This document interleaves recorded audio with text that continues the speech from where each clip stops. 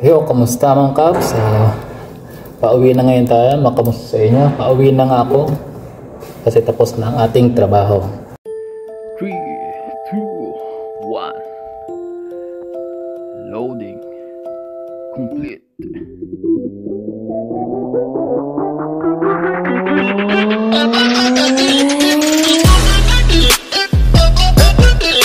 Yun nga mga Cubs, ah, uwi na tayo. Ah, 8 oras lang tayo ngayon. Kasi nga holiday kahapon kaya uwi tayo. Ang maaga ngayon. Konti lang yung gawa natin. So, tayo na. Uwi na muna. Ito na nga mga Cubs, ah, naglakad ako pa uwi. Ah, akay-akay ko lang yung bike ko. Parang gusto ko kasi maglakad ngayon. Maganda yung sikat ng araw kaya ngayon lang tayo masusikatan ng araw o madadampian yung balat natin ng araw kasi nga summer na ngayon dito. So, mas maganda maglakad muna ng konti. Pero ito yung bike ko mga kaps oh. akay-akay ko lang. Para naman may konti pa rin tayong exercise kahit nakatayo sa trabaho. Nakatayo na nga tayo sa trabaho pero hindi naman exercise yun. Mas maganda pa rin yung naglalakad tayo mga kaps yun nga pala mga kaps ah, mayroon tayong uh, usapan na ano nga ba yung mga trabahong maaabutan natin o pwede natin maging trabaho dito sa Poland? Pag nandito na tayo o pag nag-apply tayo. Tayong pag-usapan yan mga Cubs. Yun nga mga Cubs ano nga ba yung mga trabahong common dito na mapapasukan natin o magiging trabaho natin sa Poland? Pag nandito na tayo o pag nag-apply tayo. Ah ang number one na nangunguna nga sa trabaho natin dito sa Poland na kinakailangan nga lagi ay factory worker at farmer. Number one niya sa listahan mga Cubs. Pagka mag apply kayo dito pagka yung nasa ibang lugar kayo kahit Pilipinas man o nasa ibang bansa kayo katulad ng Middle East or Taiwan, Hong Kong Singapore man ang mga nasa listahan nilang pwedeng applyan papunta rito sa Poland ay factory worker, fruit picker, or yun nga, o farmer na. Yun ang mga pwedeng applyan dito pero nangunguna dyan mga Cubs is yung factory worker. Yun nga mga Cubs, nangunguna nga ang factory worker pero oras na nandito ka na sa Poland at nagtatrabaho ka na tapos gusto mong lumipat marami kang pwedeng lipatan dito. Maraming trabahong pwedeng pagtrabahon dito. Meron ditong hotel sa hotel or katulad ng waitress, waiter. Pwede kang magtrabaho sa ganyan. Uh, caregiver nani basta mga yung nag-aalaga sa mga matatanda. Pero malaki sahod doon mga cabs yung ganun. Uh, yun ang masabi ko doon. Pag nandito na kayo at nag-start na kayo magtrabaho dito tapos din nyo nagustuhan yung trabaho nga na pagdat na in-apply nyo papunta rito pwede kayong mag-apply sa iba o mamili ng trabaho ang gusto nyo. Kaya lang bago kayo umalis syempre mag-resign muna kayo doon sa trabaho nyo na una pagdating nyo dito. Walang problema kahit makaisang buwan na dalawang buwan lang kayo doon sa company pinagtatrabahuhan nyo basta mag-resign kayo na maayos doon tayo kasi magkakaproblema tayo mga kaos. Pagka tumakas lang tayo magiging runaway tayo kahit nandito lang rin tayo sa bansang Poland. Uh, sa mga nagtatanong naman kung ano yung mga seasonal na trabaho dito sa Poland uh, masasabi ko dyan mga kabs ay ay yung fruit picker or farmer o yung mga mushroom picker nga yan mga yan ganyan. Pero may nagsasabi daw yung chicken factory daw ang seasonal pero masabi ko hindi totoo yan kasi nga ako yung nagtatrabaho sa chicken factory. Kaya hindi natin masabi na seasonal ang chicken factory kasi more on meat dito. Kumakain lagi ng manok ng mga karne.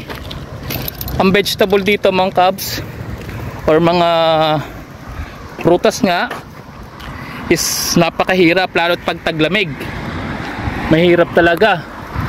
Mahirap magpatubo ng ganun nga. Meron although meron silang mga ano dito mga patawag doon greenhouse na may na may ano ba tawag doon? Na may mga heater. May mga heater nga yung mga greenhouse dito kaya masabi ko yung mga farmer or fruit picker natin ang seasonal kasi lalo pag tag snow ma ano sila matumal. Lalo't bihira bi, kaya sa pag tag snow dito bihira ka makakita talaga ng mga gulay mga cubs. Bihirang bihira. Meron man mahal. Kasi nga nagyayelo tayo dito pag nag snow bihira kahit may heater namamatayan pa rin ng, ng mga gulay o mga halaman. O pati sa mga lalo pagka yung prutas nga ah, mga apple nga dito. Yung mga apple dito export na lang pagdating ng snow. Nag export na lang tayo. Nag export na lang yung bansang ito sa mga karatig bansa rin. Ganun ang ginagawa nila. Kasi yung pag snow dito pag snow dito mga cubs talagang yung, yung mga puno dito walang mga dahon. Parang pagkamala mo patay na. Kasi nga nag snow nag autumn tapos biglang mag snow kaya ganun. Kaya ang seasonal dito na trabaho is yung fruit picker or farmer din. Yun nga kung may trabaho rin naman dito mga kaps na ano ba tawag doon construction worker. Uh, ang ganyan tsaka mga forklift driver. Ganyan ang mga makikita nyong trabaho rin dito bali sa trabaho naman kung nandito ka na sa Poland mga kabs at uh, maayos naman yung trabahong napuntahan mo alam mong hindi seasonal yung kumpanyang napagtrabahuhan mo tapos maganda magpasweldo may OT ay panalo ka lang doon Cubs.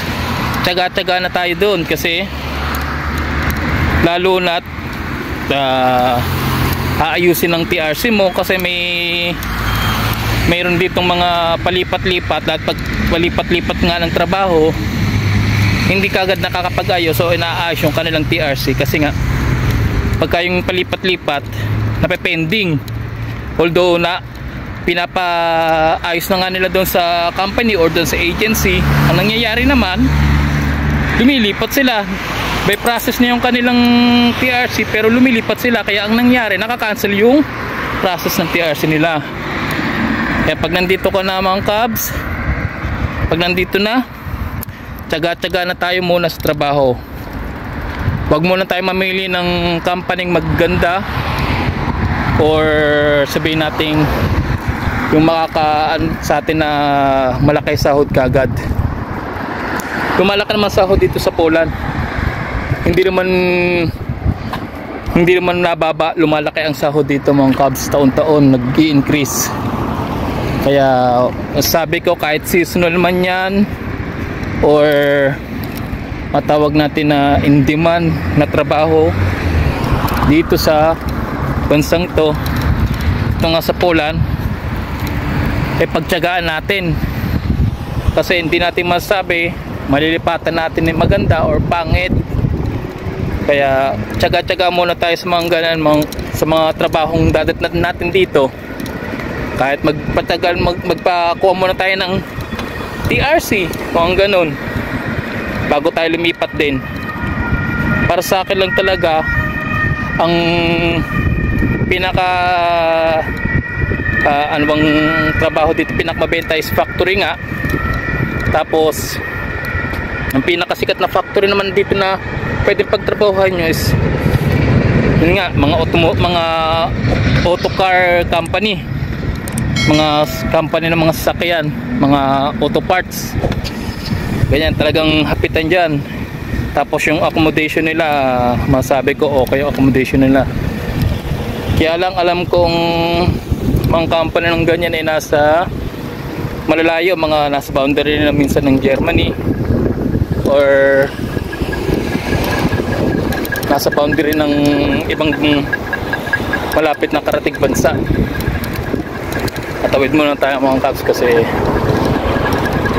tawiran tayo muna baka tayo masagasaan tapos na yung green light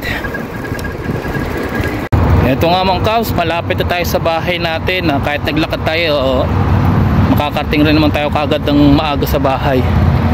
At dahil nga 8 oras lang tayo. Yun nga mga Cubs, ah, yung mga trabahong matatatnan nyo nga dito sa Poland, pag nag-apply kayo ay nasabi ko na isa-isa. Kung may nakalimutan man ako, siguro ah, paalala nyo lang sa akin, pa-comment na lang no, mga kabayan mga Cubs. Ah, kasi medyo nakakalimutan ko na talaga minsan yung iba. Sa dami na rin ng ating ginagawa dito. Kaya doon rin sa mga subscriber ko na nagko-comment o ng mga nanonood na sa atin dyan.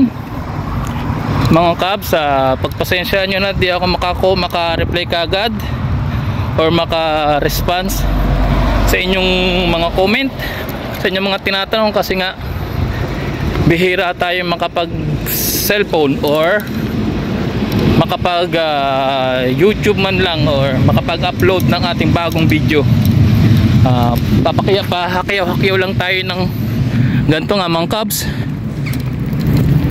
Pakyaw-hakyaw lang tayo ng oras natin para makapag-upload o makapag-video tayo. Makagawa tayo ng content oh. so paano mga cubs? Uh, hanggang dito lang ulit ang aking video. So sa lahat na nag-a-apply uh, piliin nyo yung mga gusto nyong trabaho talaga na mapagtrabaho dito sa Poland ipag-apply nyo kung factory worker man yan farmer waitress hotel uh, staff or mga room boy. Meron yan dito mga cabs uh, ano ba? Mga fruit picker. Yan mga ganyan nga mga cabs yan mga pwede nyong applyan talaga. Pero kung ano yung nasa puso nyo sundin nyo lang. Kung ano yung gusto nyo maging trabaho dito sundin nyo lang.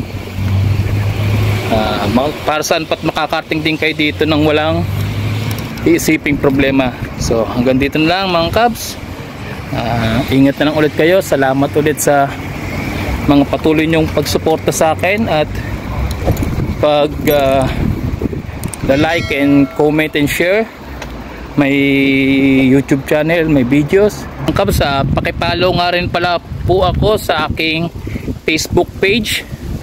Uh, pangalan din po nit ang facebook page ko is kung ano yung pangalan ko dito sa youtube. Pinoy Family in Poland po. Pinoy Family in Poland.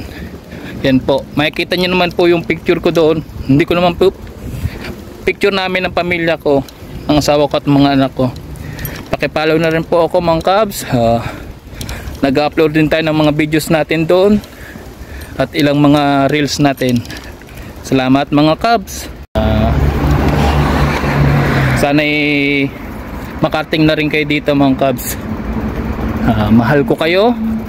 Salamat marami sa inyong lahat mga kabs and ingat tiwala lang tayo sa Panginoon. God bless